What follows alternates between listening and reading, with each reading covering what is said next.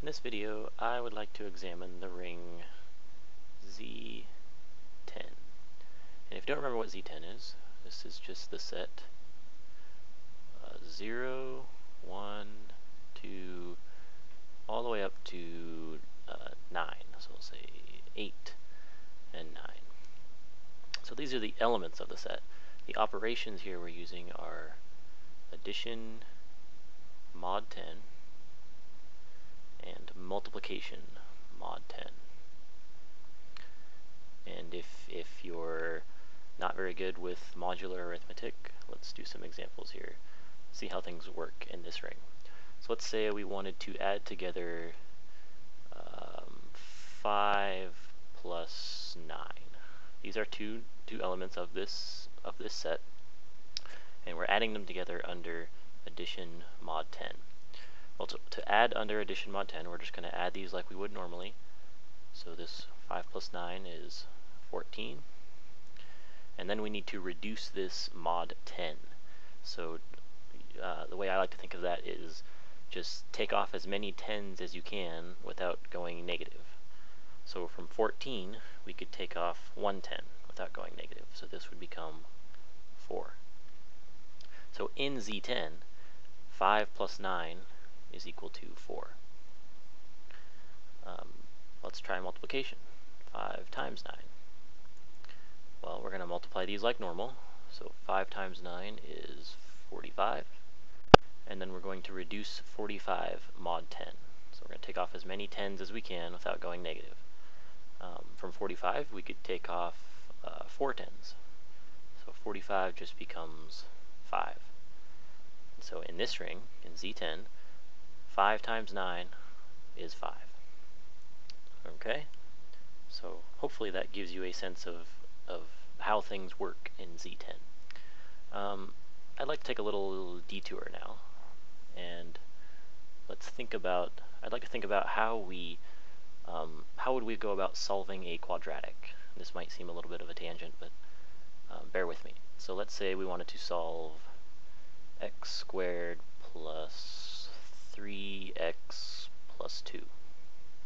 I wanted to solve this for its roots. Well, the first step would be just set this equal to 0.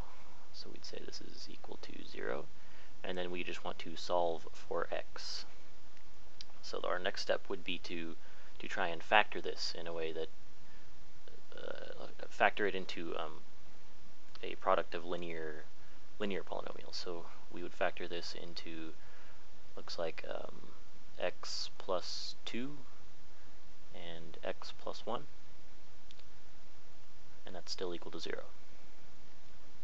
Now, we have a, a, a product of two things that equal 0. Well, the only way that can happen is if either either this one is 0 or this one is 0. So then our next step would be either x plus 2 is equal to 0 or x plus 1 is equal to 0. And then from there we could just solve each of these for x and we would have our two roots. So then x is equal to negative 2 or x is equal to negative 1. So negative 2 and negative 1 would be our two roots to this. Now, the, the, the step that I want to focus on in this video is, is this one right here, going from here to here we said that we have a, a product of two, um, two non-zero things, and it's equaling 0.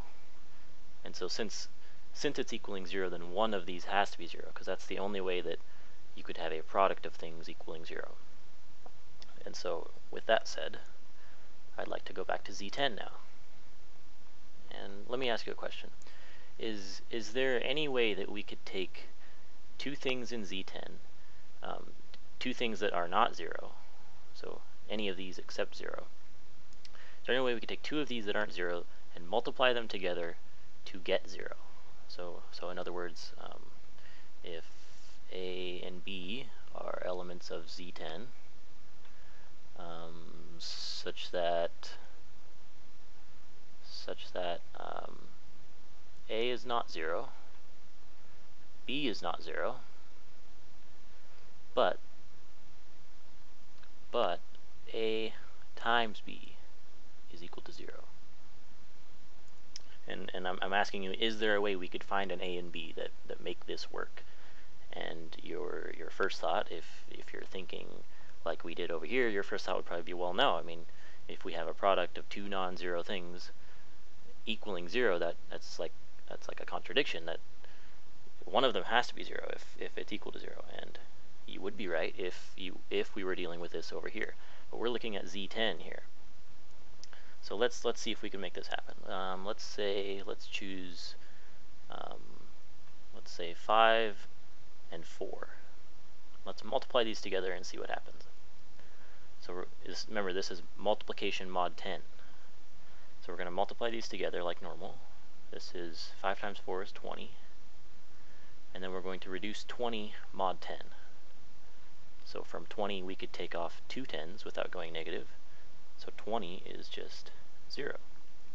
But now look, we took we took uh, we took 5 and 4, those are two non-zero elements in this ring.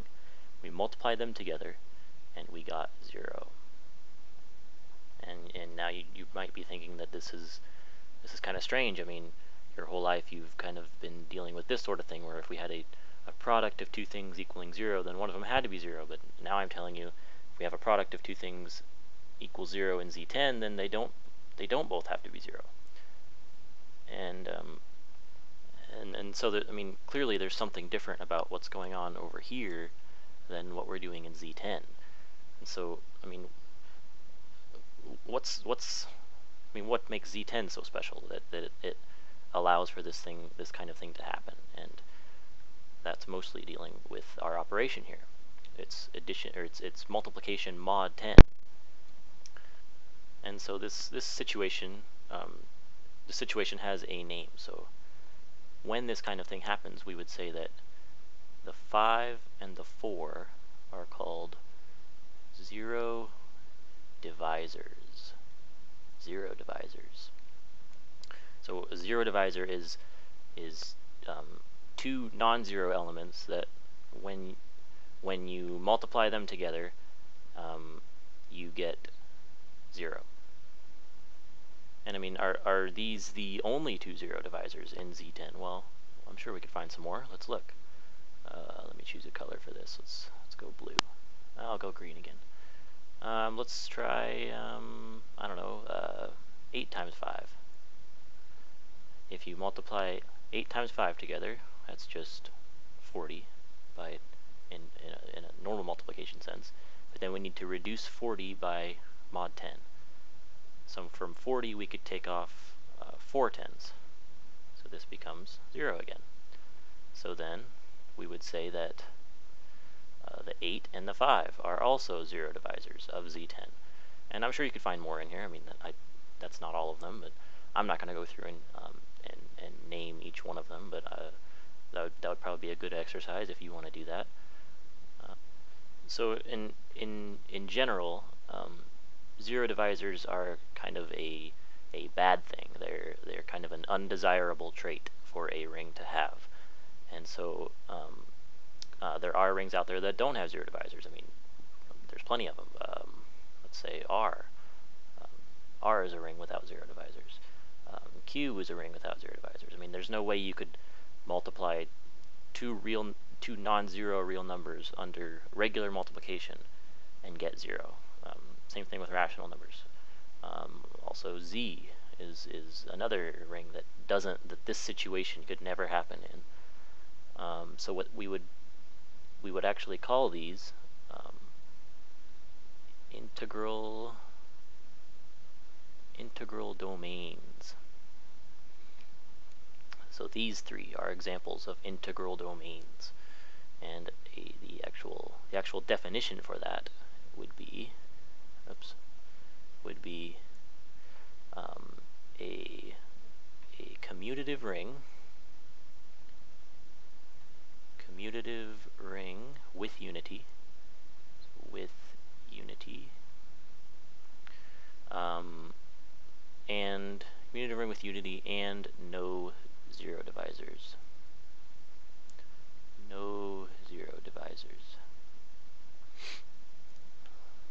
So some more examples of things that are not integral domains. Um, things would uh, things would be like um, z4. z4 is not an integral domain because you could multiply you could multiply together 2 times 2 and that would under under multiplication mod 4 that would give you 0 um, also maybe z um, z14 not an integral domain. Um, I don't know z z 1204 is not an integral domain. I think you see the pattern here. Um, in general z uh, sub c where c is composite will not be an integral domain because if it's composite then it's going to factor into you know two things that are not one uh, not one or c. So you could say that you know a times b is equal to c. And in this ring c is actually 0 so you'd have two non-zero elements multiplying to be c. Um, in also in general um, z sub p uh, will be an integral domain if p is prime so um, examples would be, you know, Z7. That's an integral domain. Um, you know, Z Z13. It's an integral domain. So all of these here, all of these here that I've listed, these are all integral domains. These ones are not. They have zero divisors. The ones down here do not have zero divisors. So this kind of situation could never happen in any of these.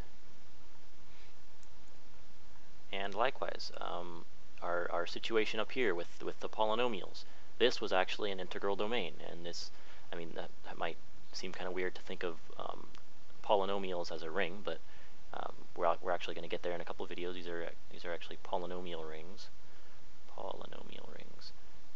But before we get to that, polynomial rings, before we get to that, I'd like to introduce a, a, a different kind of ring from, from polynomial rings. and I will do that in the next video. So see you soon.